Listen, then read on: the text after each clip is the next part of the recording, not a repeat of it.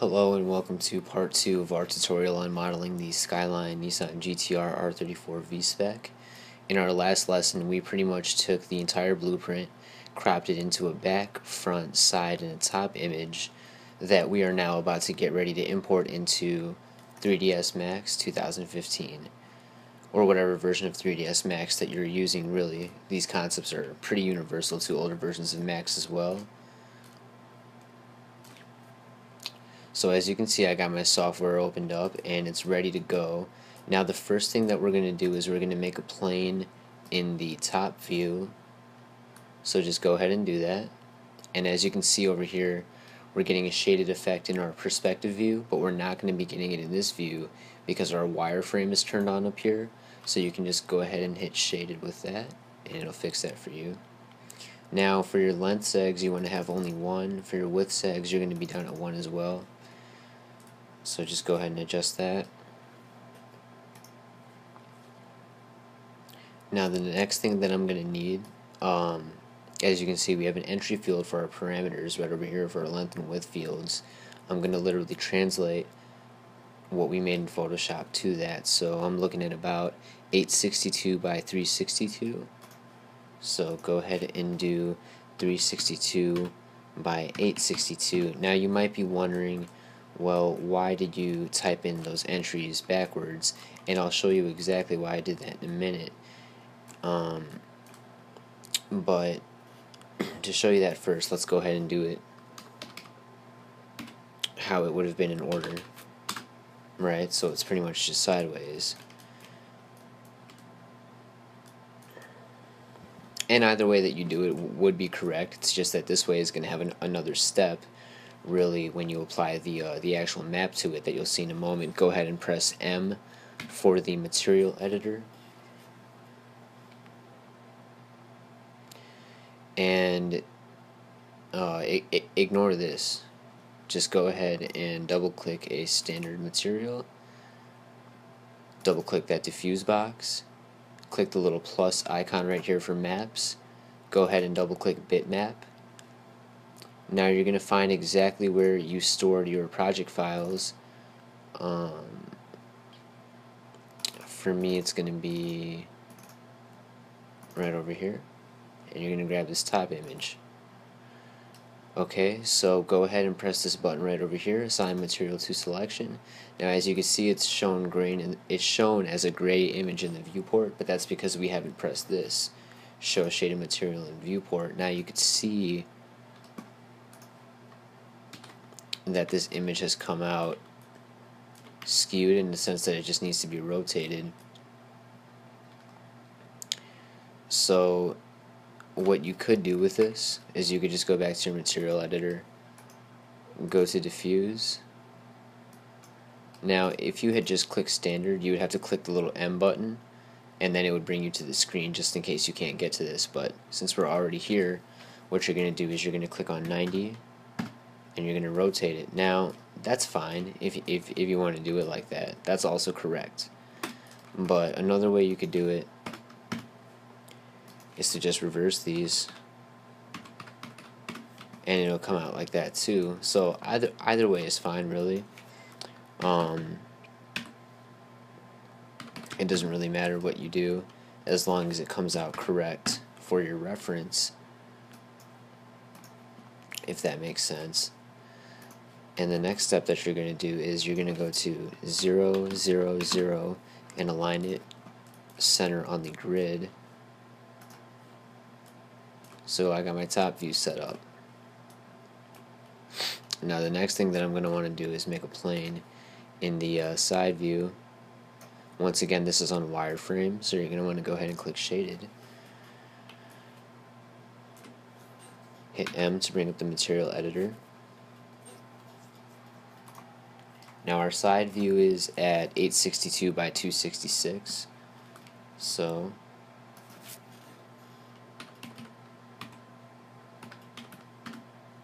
I'm just going to enter that in.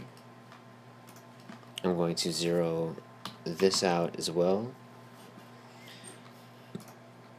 Select it, hit M, double click to make a new standard material double click on diffuse, hit OK for bitmap, bring up your side image, assign material to selection, show shaded material in viewport. Now as you can see, when we do that, it brings up the side image perfectly. Um, and you want to make sure that the that the quality of these images I'm, I'm noticing that it could be a little bit better. Now that I've imported it actually into 3ds Max I'm looking at it it could be a little bit better. So one trick that you could do to get around that is you could just go back to your material editor um, go to the standard material and for color for self illumination bring that up to 100 and as you can see it'll it'll give you a little bit of a uh, a little bit of a quality boost on your image. So we're going to do that for the top view as well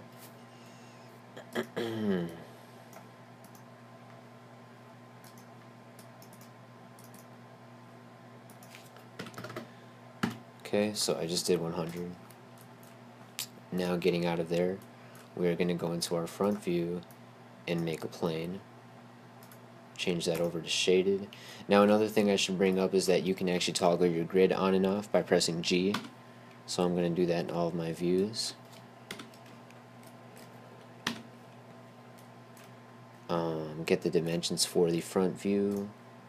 266 by 368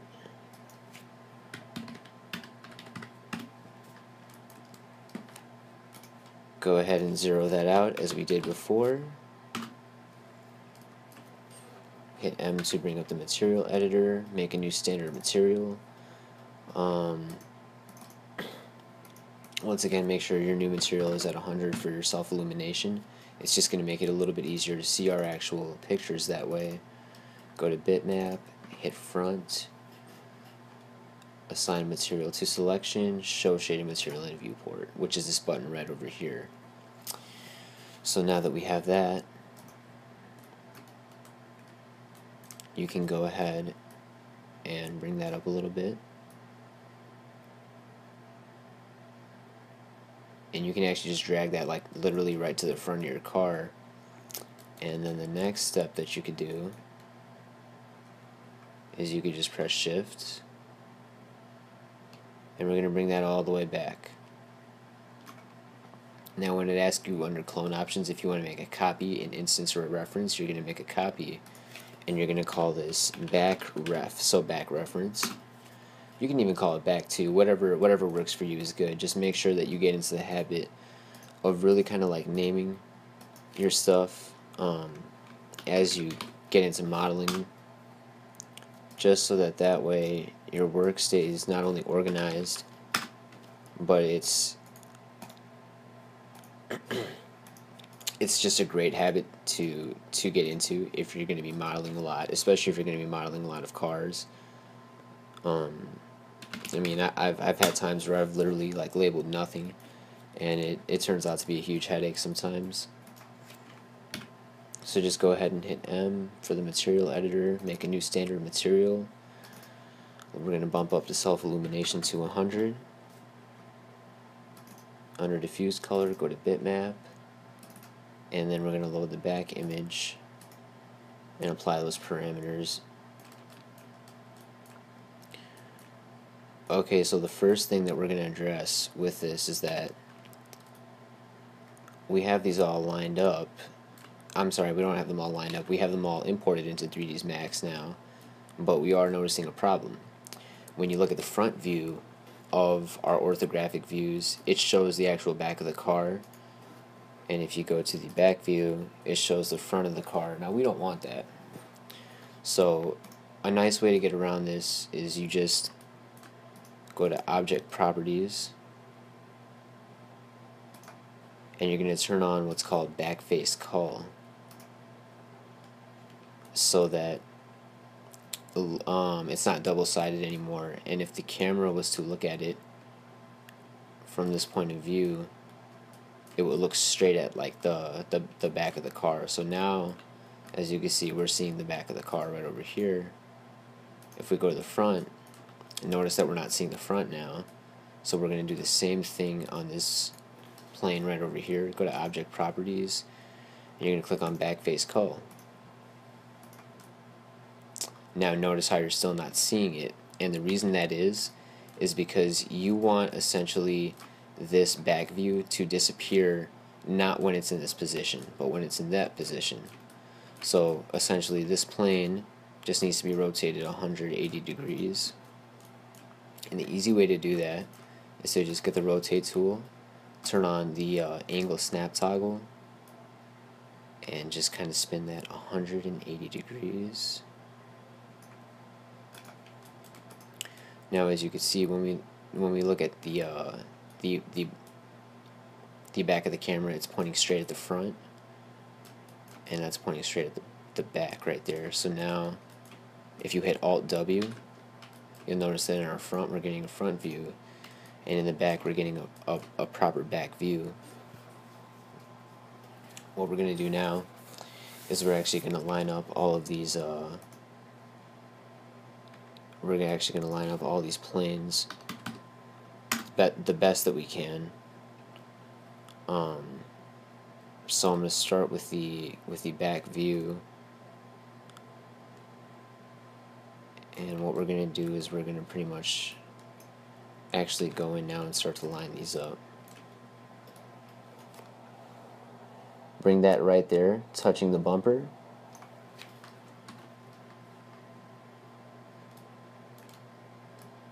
and then bring that right up so that it's essentially flush with this side view.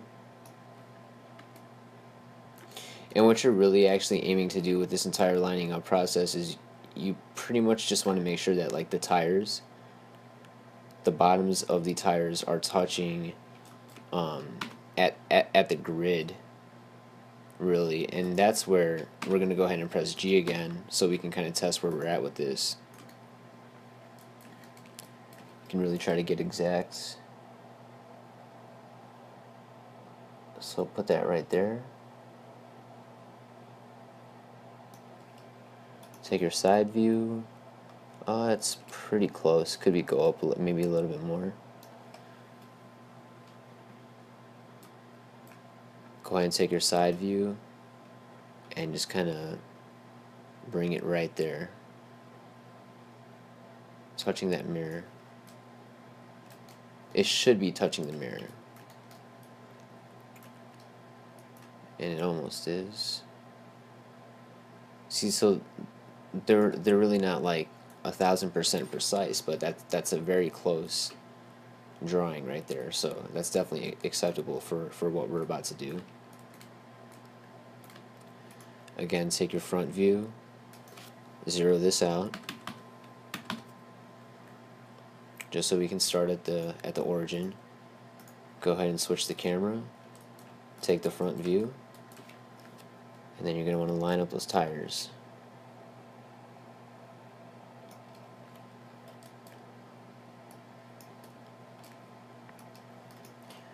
Bring it right up to the front of the car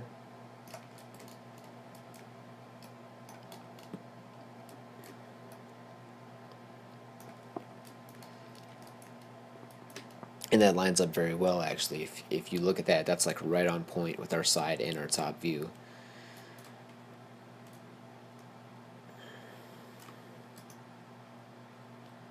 The top view should be sitting right at the origin which it is.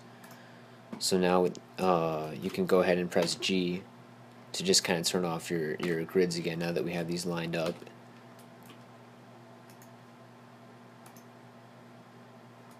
Okay, so that's off.